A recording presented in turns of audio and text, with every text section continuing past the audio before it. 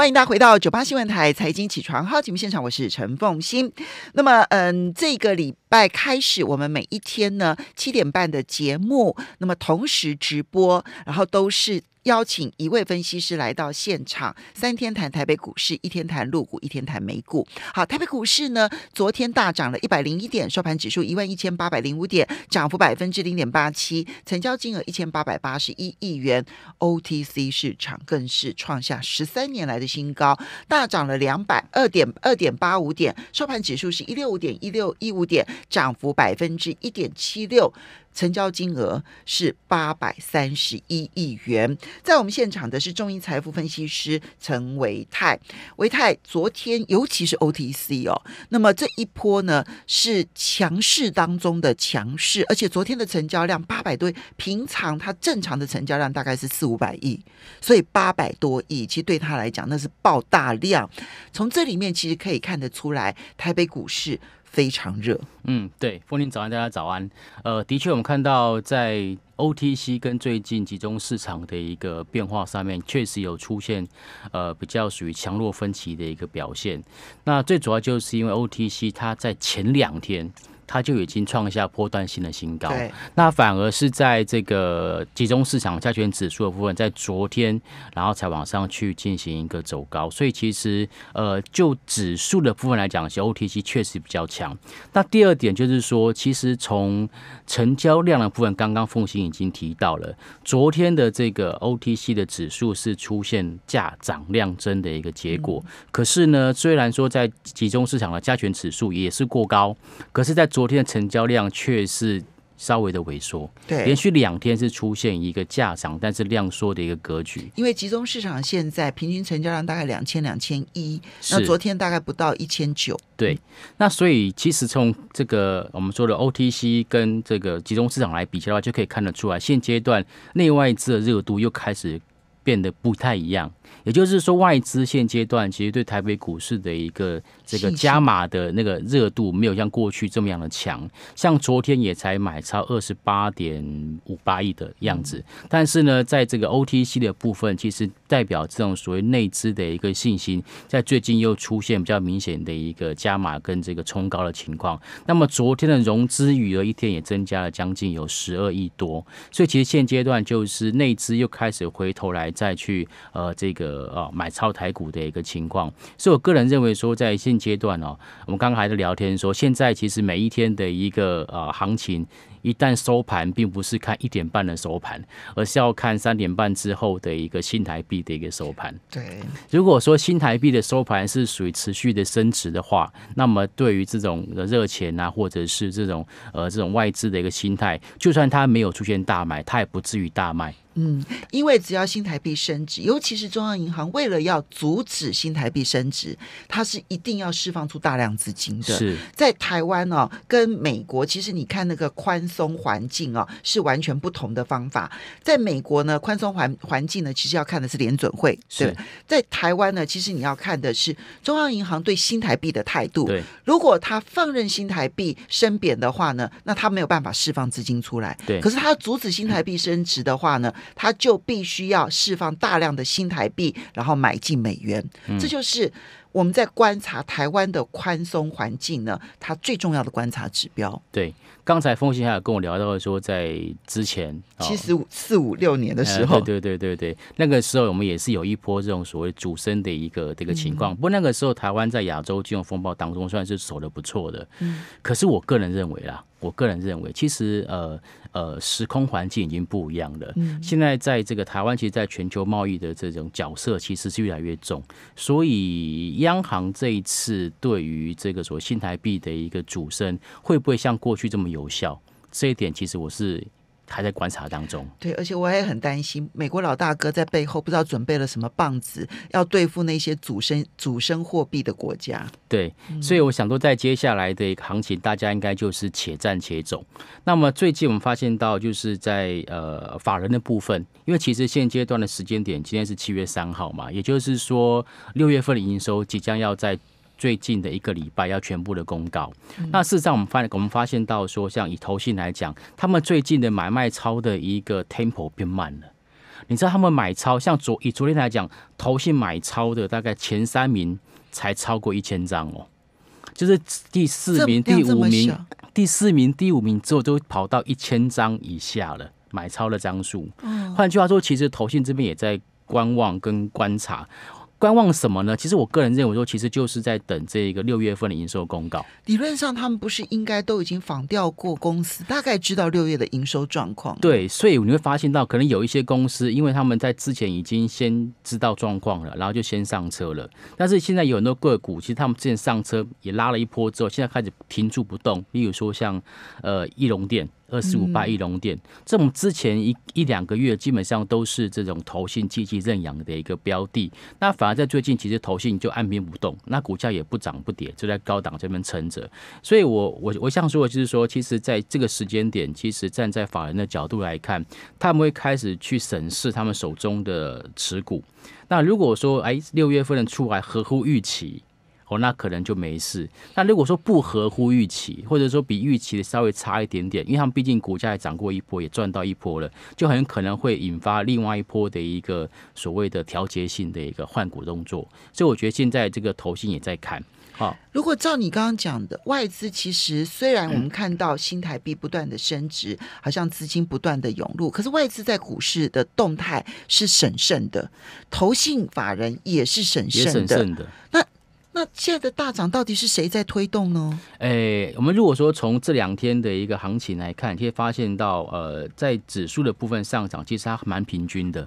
啊，船产股有。然后电子股也有，然后金融股也有，大家都是蛮蛮平均的。那这种涨法，其实我们看到在昨天的外资的一个买超也是这样，就是呃这个呃面板友达前几天卖一卖，哎昨天又买回来，那红海卖一卖，哎又买回来。所以其实，在在整个外资的一个操作上来讲，它开始就是也是在做一种比较属于短线上面的一个操作的进出。所以你看到从这个外资的态度相对保守，投信的态度相对保守情况之下，这也导致了为什么？刚一开始提到说，集中市场成交量相对比较萎缩的原因，因为两大法人基本上都相对的保守。那自营商这边本来就是在这边进进出出，但是最近有发现到，就是自营商针对在过去有一些就是可能四月份、三月份就进场布局的那一些所谓破断股的部分，他们一旦碰到这种个股的出现这种出息之后，出完席之后马上就砍掉，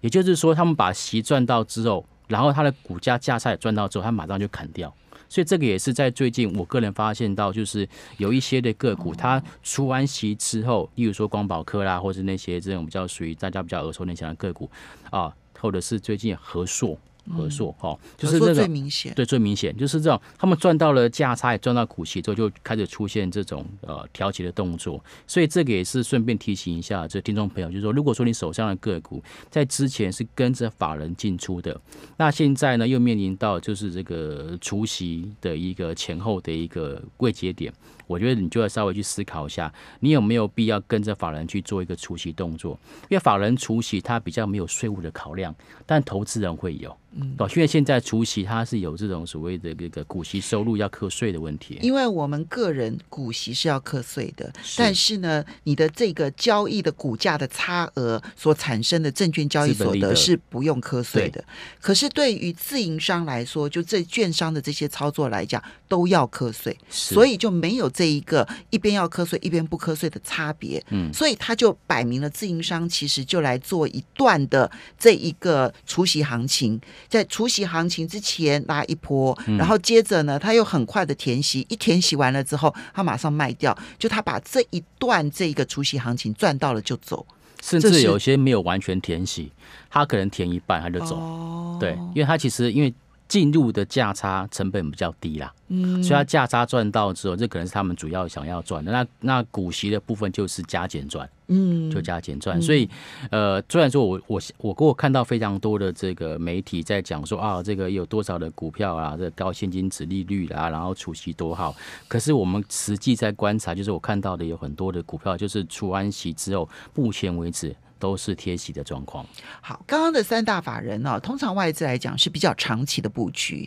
然后呢，投信呢，它相对中期，大约就是一季一季的布局，至少要一季一季的布局。是可自营商是最灵活的，那自营商呢，通常都是属于短线的，然后很快速的操作。如果这三大法人现在看起来都是都是相对比较保守观望的，嗯嗯嗯。那可是你看到市场是超热络的啊，诶，这个问题问的非常好。我们在讲说台北股市，我们在分析的时候，大概都有一个架构哈。那我们常常用的架构就是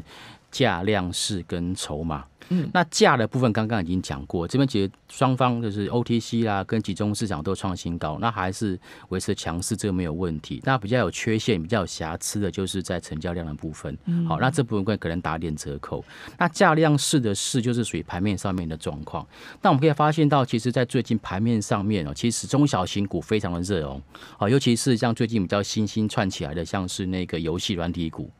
哇，那个星象，我昨天碰到一个朋友，他问我说：“你知道新象这样多少钱吗？”我说：“应该五六百块吧。”他说：“错，新象连上八百块了。你知道，就算我们每天关心股市哦，一千多档的这一些公司，你也不能每一档都能够一直关注着它。你看，很多公司就这样悄悄的，对，对，好，所以我说，诶、我们刚刚讲到，就是说，其实现在的这个盘市状况，我们从昨天来看的话，有非常多的个股涨停板。以我的看法软体来看，呃，涨停板的张数啊，这个档数已经超过一页，有一页半。可是如果你回去看弱势股，弱势股其实几乎没有一档是跌停板的。所以我们稍微休息一下，这就是盘面市的部分了。马上回来。欢迎大家回到九八新闻台财经起床号节目现场，我是陈凤欣，在我们现场的是中银财富分析师陈维泰。好，我们现在呢，这七点半之后的节目，好好的来剖析呢一个市场。今天谈台北股市。好，维泰刚刚提到了价量，然后现在是盘面的盘势，是盘市里头，其实你会发现说，中小型的个股非常非常的活跃啊，所以你看到市场最近呢，呃，但但是它相对强势吧，因为你刚刚讲到说。嗯嗯嗯嗯这个涨停板哦，一夜都还排不完，对啊，就涨停板的加速这么的多，是但相形之下，最弱势的嗯跌停板其实没几家，对，所以我们在讲说，有时候这个呃要分析行情的一个多空趋势，其实也不用这么困难，嗯你就看看说现在涨停板的加速多还是少，或者是说你上涨的加速多还是少。对，哦，所以我认为说，从这个就是一个很基本也是很简单的一个盘势的观察。为什么会涨停板？就是因为有人愿意追价嘛。对，那如果有人愿意追价，那这个气氛就是属于偏多的嘛。有人追，而且有人洗手，对，好，所以这就是一个一个我们说的很简单的一个看盘的一个技巧，跟大家来做分享。但只不过说，在这个这几天在强涨的个股当中，我发觉到有一点点内容上面的一个调整。怎么说呢？其实呃，之前都会涨一些，就是什么这个法人认养股啦，然后刚刚提到的一些什么 IC 设计股啊，或者是这个五 G 概念股等等。可是最近却看到是一些刚提到像这游戏股。哦，这个星象哦，这个也创下这个八百多块的一个这个天价，然后其他的包括像是这什么说网龙啦，哦，或者是不是像智冠啦，哦，或者是这些像大禹之等等，或者橘子，你可以发现到这些游戏软体股哦，他们的整个股价的表现其实不会输电子股哦。对不对？好，所以如果说站在这个投资者的角度来看，哈，这个是我认为说，其实游戏软体股可能因为今年的疫情的关系，他们这整个的这个我们说的一个需求大幅度的一个提升，那那个营收也大幅度的成长，那这一点反而是之前我我我发现到就是法人没有想到的。哦，所以这一波其实有看到很多的一个法人在呃最近才开始去回补这些游戏软体股的一个部分。因为游戏软体股其实有一段期间呢，几乎被市场抛弃，就是不再不列入主流了，因为觉得好像也赚不到什么钱，就也就是如此。然后中间又发生了几次炒作的事件，是但是最近可能是，所以维泰你的意思说它是涨真的，那个真的是说。不只是大家呃，不只是它这个股价上涨，它的实质的营收面或者获利面应该都是大幅度成长的。呃，没有错，我们看到以刚刚所提到的这个新项哦，它五月份的营收是成长了十五 percent。那如果说它在这个累计营收来讲，其实哈竟然有可以成长到七成。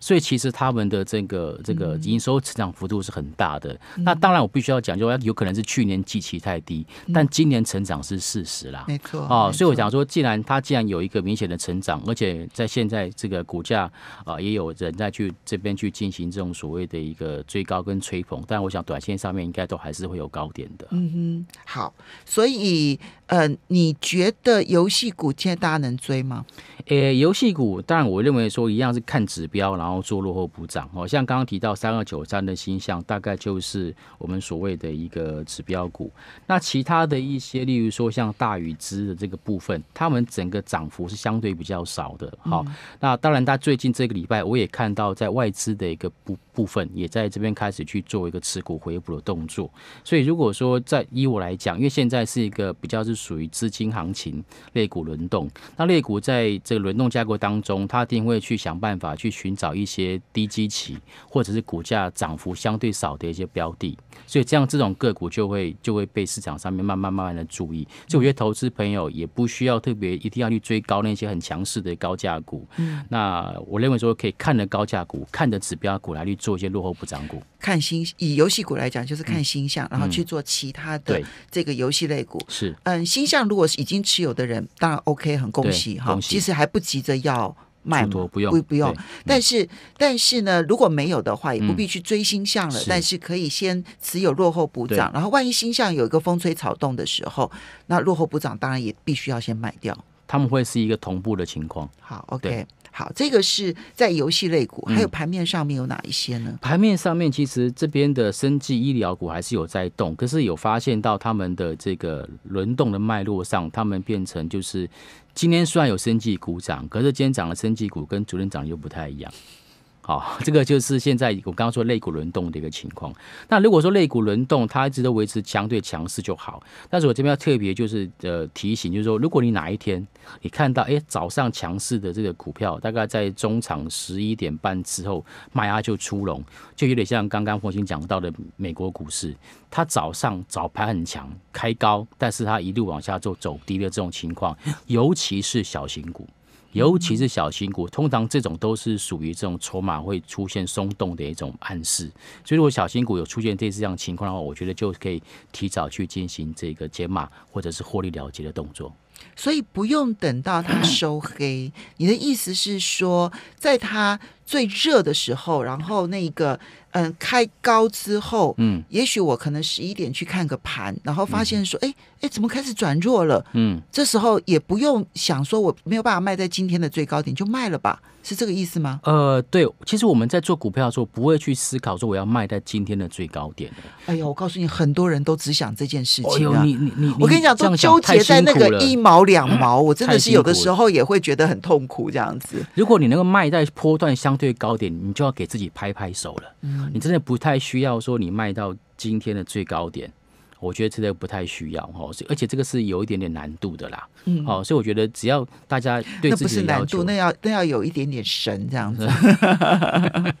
对，我觉得这个是一个很重要的东西。然后再来就是说，我们发现到就是说，在整个这个呃，升级条股份是类股在做轮动。然后就像连 PCB 最近行情的部分也是有着强有着弱，所以接下来在个股的表现上，它会有一些强弱分歧的一个表现。那强弱分歧的表现可能在下个礼拜更。明显，也就是我刚刚提到，就六月份营收公告之后，会有法人会去进行审视跟筛选，那哪一些个股它真的涨多，或者是它预期不如预期，它会做一个调节。所以我觉得在这一两个礼拜，有可能是呃进行换股的一个重要时间点。所以如果这样子的话，就是所以维泰，我们必须要等这个营收报告出来，因为七呃七月十号之前，嗯，六月份的营收全部会公布嘛。是，那你关注几家？公司，然后接着它的营收报告一出来了之后，嗯，